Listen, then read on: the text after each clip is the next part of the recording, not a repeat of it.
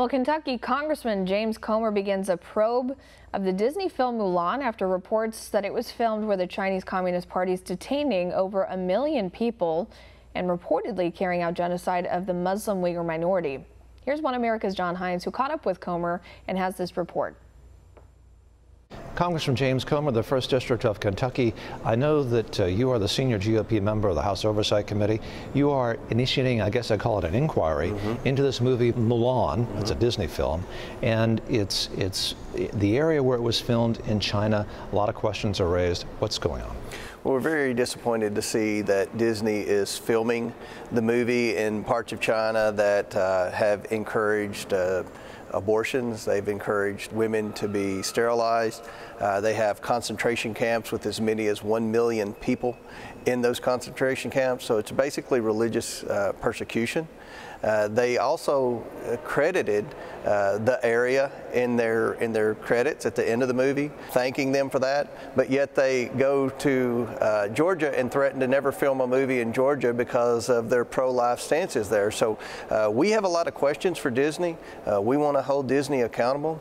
We as Americans stand with people that are persecuted for religious reasons all across the world, and we expect the same for companies like Disney. So it sounds to me like one of the questions here that's sort of the undercurrent here is a question of hypocrisy on the part of the Walt Disney Company. Well, Disney pays great lip service to say they promote young people and uh, they promote this culture that uh, we believe in in America, yet they turn around and uh, turn their back on conservative states, Christian states that uh, believe in life. And then they go to parts of China and film a movie and, and brag on uh, China and thank China uh, when in fact China uh, holds people in concentration camps, they sterilize women and, and have encouraged and threatened uh, with many abortions. We're talking about the Uyghurs and so it appears reports are they filmed this, this movie Mulan near the Uyghur concentration camp. Um, there is an organization called, I may mispronounce it, the Turpan Municipal Bureau of Public Safety and there is a credit in this movie pertaining to them, but there are a lot of questions raised by that. What questions are you raising about that credit given to this police force?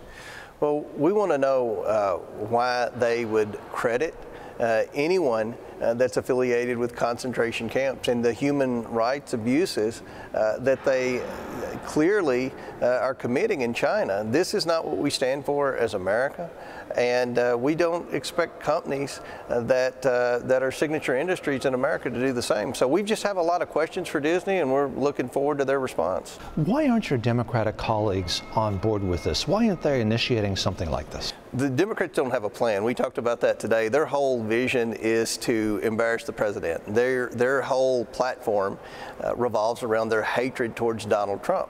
Uh, a lot of these issues that uh, we're trying to uh, be on the right side of, uh, they used to talk about.